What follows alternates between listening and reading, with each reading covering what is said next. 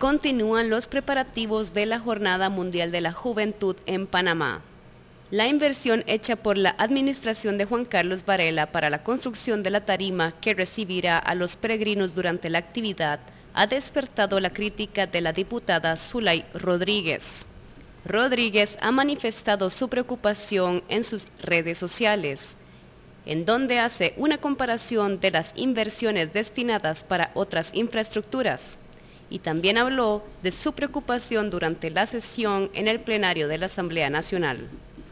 Aquí hay una joven que se ha dedicado en sus redes sociales a señalar que por qué yo estoy criticando los 12 millones de dólares que están gastando en una tarima para la JMJ porque venga el Papa Francisco. Estoy segura que el Papa Francisco jamás estará de acuerdo con 12 millones de dólares para una sola tarima, para una sola vez. Por otro lado, autoridades de la Iglesia Católica dijeron que el Papa solicitó que organizaran algo sencillo para su visita en la Jornada Mundial de la Juventud.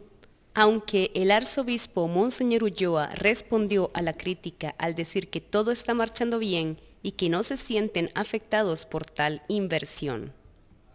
Las cosas cuando son buenas siempre va a tener detractores y esto lo tenemos muy, pero muy, muy claro. Así que eh, cuando hay problemas podemos decir las cosas marchan bien. Si no hubiera problema entonces decir hay algo turbio y oscuro. O sea que no les afecta la crítica de la, ah, por los 12 millones de dólares de, la tarima. ¿Por, qué? ¿Por qué me va, nos va? Eh, eh, eso tiene, está en Panamá compra, al final todo se va a estar dando hasta el último centavo de lo que se ha estado gastando.